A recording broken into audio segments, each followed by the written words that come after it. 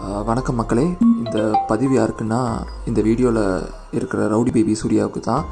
இன்னைக்கு காலையில் வந்து அவங்களோட யூடியூப் சேனலில் ஒரு வீடியோ போட்டிருந்தாங்க. நான் இந்த மாதிரி வெளியில் கடைக்கு போய் நான் மக்களுக்கு வந்து உணவுப் பொருட்கள்லாம் வாங்கி தரேன்னு. அதெல்லாம் சரிதான். முதல்ல மாஸ்க் எங்கே? பின்னாடி இருக்க அவங்களுக்கு செவத்துக்கு பின்னாடி இருக்க இதிலே போட்டிருக்கு மாஸ்க் அணியவும்னு. கடை கடையில் வேலை பார்க்குற எல்லாரும் மாஸ்க் போட்டிருக்காங்க. பின்னாடி இருக்கவங்க துப்புரவு தொழிலாளி கூட மாஸ்க் போட்டிருக்காங்க.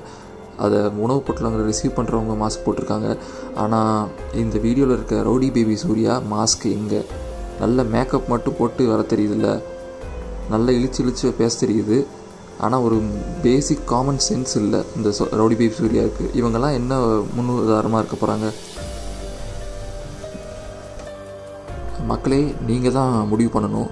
இந்த மாதிரி ஃபேக்காக பப்ளிசிட்டி பண்ணுறவங்க நாட்டில் நிறைய பேர் இருக்காங்க. முதல்ல வெளியே போகக்கூடாதுன்னு ஒரு சொல்லியிருக்காங்க. தேவையில்லாத விஷயத்துக்கு இவங்க உணவு தான் கொடுக்க போகிறேன் அப்படிலாம் சொல்கிறாங்க பட் முதல்ல மாஸ்க் எங்கே? போலீஸ் இதெல்லாம் கவனிக்காதா? முதல்ல இந்த வீடியோவை காவல்துறையினர் பார்த்து தக்க நடவடிக்கை எடுக்கணும்.